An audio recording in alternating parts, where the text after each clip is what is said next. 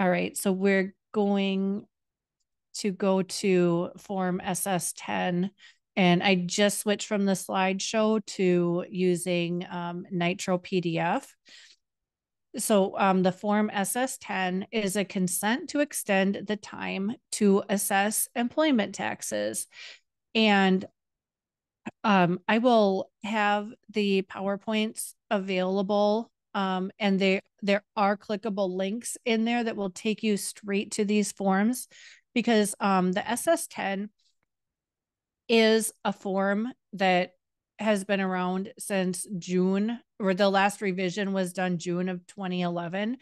So it's been around for a while.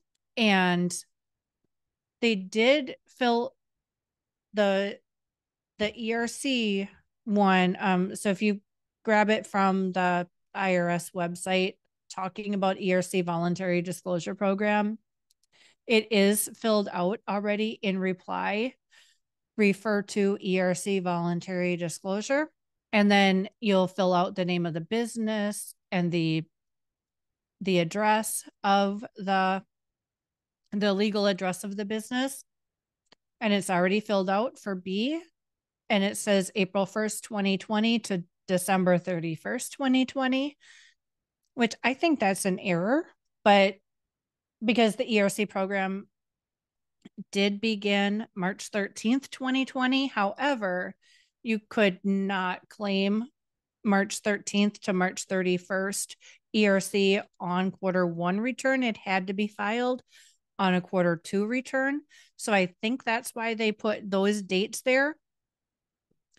And um sorry, I'm looking off to my other screen because I don't have the PDF on both screens.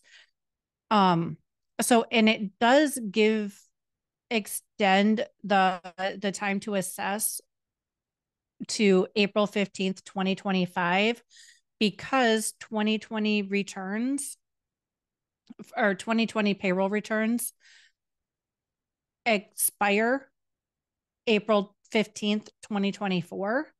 So this is just giving them another year to make whatever assessments they deem necessary.